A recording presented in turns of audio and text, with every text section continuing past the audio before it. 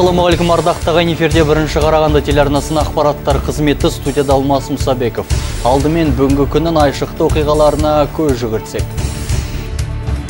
Мемлекеттік қызмет істері және сыбайлас жемқорлыққа қарсы іс қимыл агенттігі төрағасының орынбасары алик шпекбаев үш күннен бері аймағымыздағы халыққа қызмет көрсету орындарын аралады. Теміртаудағы шағын несие кеңсесіне баса көктеп кіріп 22 жастағы есепшіге сес көрсеткен денсаулыққа қатысты сот үкімі шықты. Азамат енді өмірінің жеті жылын түрмеде өткізеді. Қаз дауысты қазыбек би келдібекұлының 150 жылдығына арналған. Даналар сөзі ақылдың көзі атты шешендік өнер байқауының республикалық кезеңі өтті.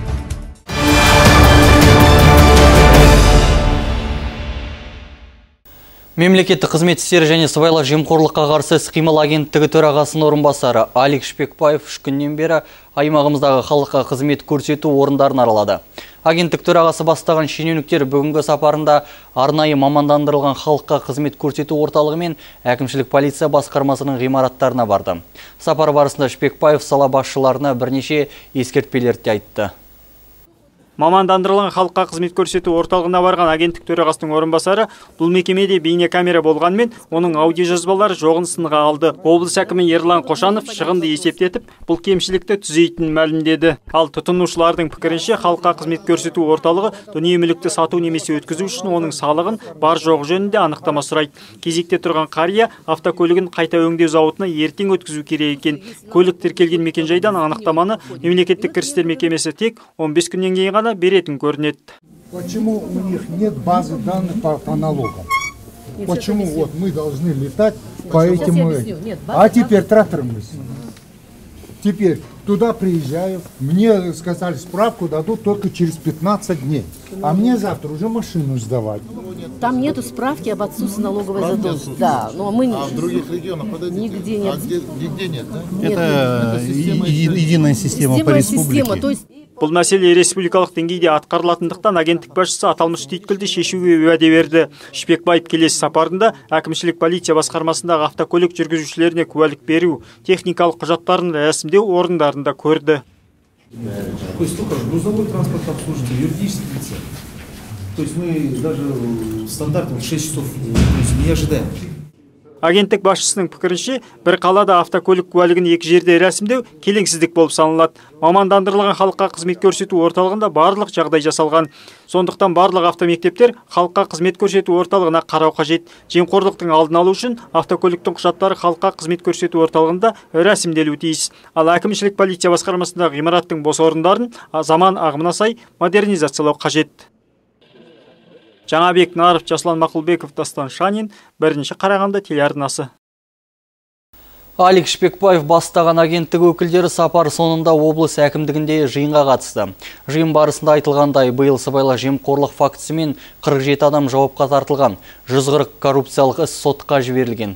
Агенттік өкілдері аралап шыққан үш күнгі сапар барысында кейбір халыққа қызмет көрсету орталықтары халыққа қызмет көрсетуге лайықты болмай шықты аймағымызда 637 мемлекеттік орган бар. Штатта 7382 адам еңбек етеді. Оның 758 орны бүгінде бос тұр. 2017 жылы мемлекеттік органдар 4 миллион көлемінде халыққа 190 қызмет үлгісін көрсеткен. Мемлекеттік қызметкерлердің 74 пайыздан астамы компьютерлік қажетті білімді игерген. Ал 17 пайыздан астамы электронды сандық қолтаңба алып қызмет атқаруда. Қазіргі таңда шенеуніктер электронды қызмет жасауға оқытылып жатыр. Бүгінгі таңда сыбайлас жемқорлықтың алдын алу жемқорлыққа қарсы мәдениетті қалыптастыру барлық мемлекеттік билік органдарының соның ішінде қоғамдық ұйымдардың қызметіндегі ең үлкен басым бағыттардың бірі екен міне сол салада қоғам өкілдерімен ақпарат құралдарымен бірге әрекет ету арқылы ғана біз алға қойып отырған мақсатқа жете аламыз жиын барысында айтылғандай мемлекеттік сатылым бойынша былық жетерлік нормативтік құқықтық актілердің құжаттары нақты деректермен сәйкес келмейді. Биылғы жылы төтенше жағдайлар департаменті басшысының орынбасары мен теміртау қалалық білім бөлімінің басшысы жемқорлықпен ұсталды. Жезқазған сәтбаев қаражал қалалары мен ұлытау жаңаарқа аудандарында еңбек заңын бақылау бөлімдерінде және облыстық еңбек инспекциясында құқық бұзушылықтар болған. По рекомендациям Совета по этике привлечены к ответственности 17 государственных служащих. Әдеп кеңесінің жүргізген жұмыстары бойынша 17 мемлекеттік қызметкердің ісі қаралды. Онда 5 адамға ескерту егеуіне сөгіс, алтауына қатан сөгіс бір шенеунік қызмет тәртібінің төмендігі және үш адамға өз қызметіне сәйкес емес деп баға берілді. Сонымен қатар жезқазған сәтбаев қаражал қалаларында халыққа қызмет көрсету орталықтар талапқа сай емес. Қаражал қалалық халыққа қызмет көрсету орталығының ғимаратына жедел арада жөндеу жұмыстарын жүргізу қажет. Сонымен қатар аудан қала әкімдіктерінде арнайы демалыс бөлмелері де бар. Агенттік өкілдерінің айтуынша әкімдіктегі демалыс бөлмесі артық. Даже комната отдыхтары бар да? А кейбір жерге барса кіруге ұят сондықтан сіздерге көңіл бөлу керек қой оны қарау керек қой. Біздің мына арнайы мониторинг топтың осы мүшелері келіп отыр. Олар өздерінің пікірлерін айтып жатыр. Менің ойымша олар енді оған енді бұрылып не болса да істеуге мүмкіндік бар мына жерде. Оны өзгертуге де мына кемшіліктерді жоюға да. Агенттік төрағасының орынбасары алик шпекбаев облыста жұмыстар атқарылып жатқанымен заңсыз атқарылған істердің де көптігін атап өтті. Шенеуніктерге көрсетілген кемшіліктерді түзетіп халық алдындағы жауапкершілікті ескеруге шақырды. Жаңабек наров жасұлан мақұлбеков дастан шанин бірінші қарағанды телеарнасы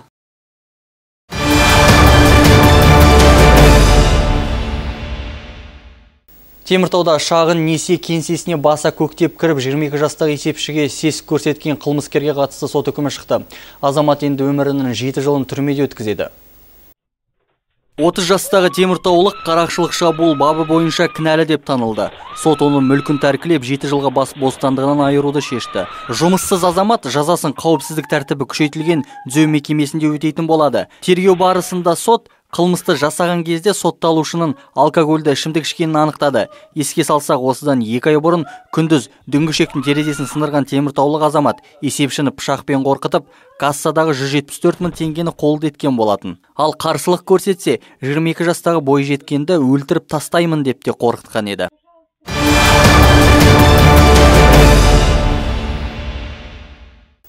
Қаздауысты Қазыбек би Келдібекұлының 350 жылдығына арналған даналар сөзі ақылдың көзі атты. Шешендік өнер байқауының республикалық кезен өтті. Айтолы жоба Қарағанды облысын тілдер дамыту жөніндегі басқармасының ұйымдастырумен елбасының рухани жаңғыру бағдарламалық мақаласын жүзеге асыру аясында қолға алынған. Өнер бәйгесіне Қазақстанның әр өңірінен жиналған 16 үміткер бақтарын сынады. Арқа аймағының намысын төрт талапкер қорғады. Қаздауысты Қазыбек би Келдібекұлының 350 жылдығына арналған даналар сөзі ақылдың көзі атты республикалық шешендік өнер байқауына қош келдіңіздер. Қара сөз шеберлері мен ұшқыр ой жүйріктеріне қолдау көрсету мақсатында өткізілген шешендік өнер байқауы қарағанды облысында алғаш рет ұйымдастырылып отыр. Қатысушылар үш айналым бойынша бақтарын сынады. Алғашқы сәлем сөздің атасы кезеңінде сәлемдесу арқылы өздерін көпшілікке таныстырса даналар сөзі ақылдың көзі атты екінші кезеңде қазбек бидің шешендік сөздерінен үзінділерді мәнерлеп жатқа оқыды. Ал соңғы шешендік шеберлік кезеңінде осы заманға проблемалық тақырыптар бойынша білгірлік ділмарлық шешендік танытып күнделікті өмірде кездесетін даулы мәселелерді шешуі тиіс болды. Сайыстың жүлделі орындары үшін байтақ елдің жан жағынан жиналған 16 мен 35 жасқа дейінгі 16 үміткер мүдірмей бақ таластырды қиялы ұшқыр ынтасы ыждағатты жастар бір бірінен асып түседі. Қолдарынан келгенше қарсыластарынан өзгешеленуге барынша тырысқан өрендердің ішінде аймағымыздың намысын қорғаған айсұлу еламанқызы болды. Айсұлумен қатар облыстық іріктеуден өткен тағы үш жүлдегер республикалық байқауға жолдама алған болатын. Қарағанды тұрғыны ретінде қарағандыдан қатысып отырмын. Бұл байқау бір көсемдей көсіліп шешендей шешілетін керемет байқау болайын деп тұр. Байқау емес дүбірлі той десем де болады. Облыстық кезеңі де осыдан бір апта бұрын өте жоғары дәрежеде өткен. Осы тұрғыда ұйымдастырушылар алқасына қарағанды қаласының тілдер басқармасы тілдер дамыту орталығына алғысымды білдіріп кеткім келеді. Өйткені осындай 14 облыстың барлық қазақстанның бүкіл қазақтың басын қосқан үлкен дүбірлі той жоғары дәрежеде өтетініне қаздауыс қазыбек бабамыздың бір орнынан сондай бір көзі тірі болғанда бізге ризашылығын білдіріп даналар сөзі ақылдың көзі шешендік өнер байқауының республикалық кезеңінің ерекшелігі үміткерлердің байырғы сөздерді орнымен түрленте пайдалана алуына ойының жүйелігіне және шешендік шеберлігіне баса назар аударылды. Сондай ақ қазылар алқасы мүшелері тіл өнері майталмандарының дауыс мәнері мен тіл тазалығына және сахнада өзін өзі ұстауына көңіл бөлді. Әділ қазылар алқасы өте іріктелген сұрыпталған. Біз қаздауыс қазыбектің ең басты мақсаты ол әділдік болатын. Бүгінгі де республикалық байқауда ұстанатынымыз әділдік. Әділдікпен шешіледі. Әйтпесе қаз дауысты қазыбек бидің алдында біз ұятқа қаламыз. Сондықтан барынша әділетті жаңағы өзі өздерінің өнеріне қарай қабілетіне қарай іріктеледі деп есептеймін. Айтулы шараның мақсаты мемлекеттік тілдің қолданылу аясын кеңейту тіл мәдениетін көтеру шешендік өнерді қалыптастыру болып табылады жүлдегерлер дипломдармен және ақшалай сыйлықтармен марапатталды айжарқын сейсен сергей высокосов дастан шанин бірінші қарағанды телеарнасы Бүгін шала туған балалардың халықаралық күні. Бұл күн Европалық қор мен Америкалық қайырымдылық ұйымның бастамасымен 2009 жылдан бері аталып келеді. Бастама мерзімнен бұрын туылған нәрестелері бар отбасыларда кездесетін мәселелерге түсіністікпен қарап қолдау көрсетуге бағытталған. Айта кету керек, жыл сайын облыстық перинаталды орталықта 4,5 мың сәби дүниеге келеді. Соның 500-і ай күні жетпей туған бүлдіршіндер екен. Облыстық перинаталды орталықта шала туған балаларға арнап мереке ұйымдастырылды. Оған медицина мекемесінің дәрігерлері, ата-аналар мен бүлдіршіндер қатысты. Шараның мақсаты ақпараттық және психологиялық тұрғыдан көмек көрсету, мерзімнен ерте туған сәбилерді бағып күтуге қоғам назарын аудару. Мұндағы неонатолог мамандар ең алдымен айы күні жетпей туған нәрестелердің өмір сапасын жақсартуды көздеп отырғандарын айтады мерзімінен ерте туылған балаларын жылдан жылға біздің орталықта күтіп олардың денсаулығын денсаулығын жақсы болуына жоғары дәрежелі жоғары тәжірибелі мамандармен құрал жабдықтар қажет. Біздің орталықта бұл бұның бәрімен қамтылған. Сондықтан қазіргі жылдан жылға бұл балалардың емделіп аман есен шығуы жылдан жылға жақсарып жатыр. Сондай ақ тоқыма киімдердің шала туған балалардың өсіп жетілуіне пайдасы орасан зор екенін ақ халаттылар медициналық тұрғыда дәлелдегенін айтады. Қазіргі таңда облыстық перинаталды орталық 28 ілмек клубымен тығыз байланыста. Сонымен қатар жыл сайын 4500 сәби дүние есігін ашады. Соның 500-і ай күні жетпей туған бүлдіршіндер екен. Ал ең кіші нәрестенің салмағы 650 грамм. Тіпті бір келіге де жетпейді. Айжарқын сейсен дастан шанин бірінші қарағанды телеарнасы.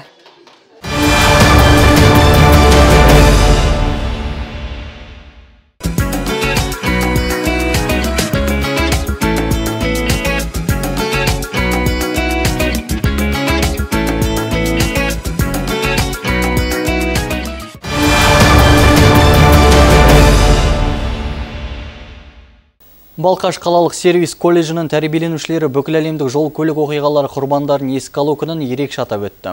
Болашақ аспаздар жол жүру ережелері пішінінде торт пісірсе, шаштараз мамандығын меңгерушілер тақырыпқа сай шаш үлгісін жасап сайысты. Аталмыш дата біріккен ұлттар ұйымының бас ассамблеясымен ресми бекітілген болатын. Себебі жыл сайын әлем бойынша орта есеппен 1 миллион 200 мыңға тарта адам жол көлік оқиғаларынан қаза табады. Балқаш сервис колледжінің тәрбиеленушісі Ирина Федорова темір тұлпар пішініндегі тәтті тортына соңғы көркемдегіш элементтерін қосып жатыр.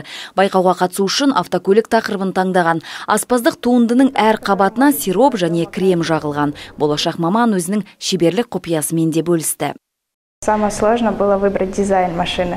Ең қиыны машина дизайн таңдау болды. Бисквит басында осындай болған. Біз жартысын кесіп тастап, қалған бөлігінен көліктің қаңқасын құрастырдық. Қаймақты креммен безендірдік. Алдымен бисквит піседі, сосын 8 сағаттай барлық дәмдеуіштері сіңу үшін күтеміз. Қызыл бархат рецепті бойынша дайындалған стоп белгісі пішініндегі мына торт пен кремнен жасалған жаяу жүргінші жолы бірінші, екінші және үшінші курс студенттерінің жұмысы. Ал аспаздардан бағдаршамның жеміс жидектен жасалған нұсқасын көрсетті.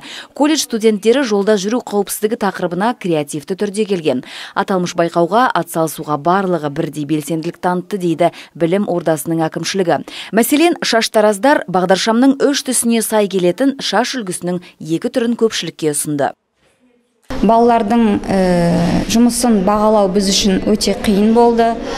Өте жақсы жасалған барлық заттар. Республикалық шараның мақсаты апталық жол апталық жолда жүру қауіпсіздік ережелері.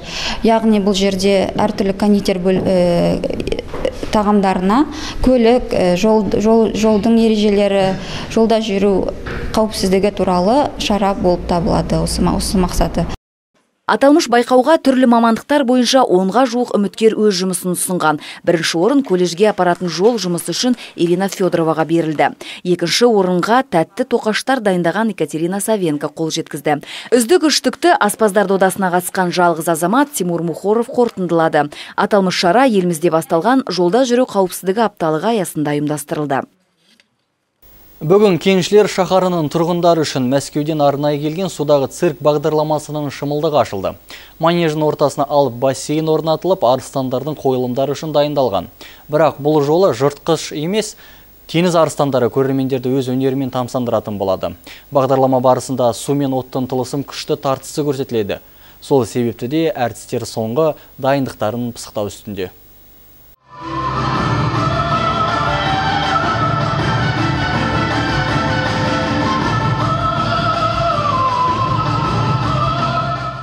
Мәскеулік әртістер сахна шымылдығы ашылмай тұрып соңғы дайындық жасауда. Себебі 3000 адамның алдында жаңылыспай өнер көрсетулер тиіс, ал ол үлкен жауапкершілікті талап етеді. Өйткені әр қойылым ол әртістің бейнесін бейнеледі. Мәскеулік цирк кеншілер шаһарына гастрольдік сапармен осымен үшінші мәрте келіп отыр. Әртістердің айтуынша Қазақстан оларға қонақ жайлығымен қатты ұнаған көрінеді.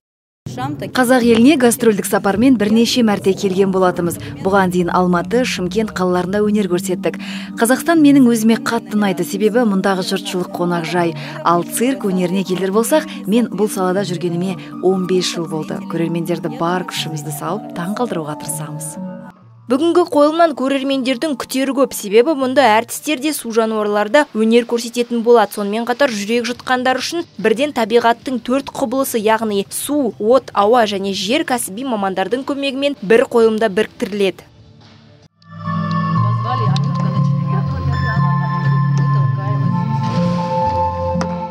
Кештің көркін теңіз арыстандары кіргізеді. Вика мен Тобби деп аталатын су жануарлары осы цирктің арқасында отбасын құрып үлгерген екен. Тіпті бүгінгі таңда олардың Кэрри деп аталатын балалары бар. Теңіз арыстанның үйретушінің айтуынша болашақта ол да цирк әртісі болуы ғажап емес циркіміздің сәні вика мен тоби оңтүстік америкадан келген. Яғни экзотика әлемінен десе де болады циркте өнер көрсетіп жүргендеріне 12 жыл болды. Олар ресейдің барлық қалаларында қазақстанда және шетелде де өнер көрсетіп үлгерді. Түрлі трюктер орындап өнерлерін ортаға салады. Цирк тек балалар үшін ғана емес ата-аналарға да демалыс уақытын қызықты әрі пайдалы етіп өткізе алатын орын. Сол себепті де қала жұртшылығына екі апта бойы мәскеулік циркті тамашалай алатын мүмкіндік бар. Өзіңіз де балаларыңыз да қызықтан құр қалып қоймай, керемет әсер алғыңыз келсе шығыс сауда орталығында немесе цирктің орталық кассаларынан билет алып үлгеріңіздер. Айжан Ералықызы, Ержан Алипов, Дастан Шанин, бірінші Қарағанды телеарнасы. Ардақты ғайын апта соны қасиетті жұма күніне келіп түскен ақпараттар легі осындай болды. Егерде бір қызықты жаңалықтарыңызбен бөліскіңіз келсе, редакциямыздың 420649 телефонына қоңырау шалуға болады. Әдеттегідей жаңалықтарымыздың толық нұсқасын арнамыздың сайтынан таба аласыздар. Мен өздеріңізбен қоштасамын. Амандықта жүзгенше.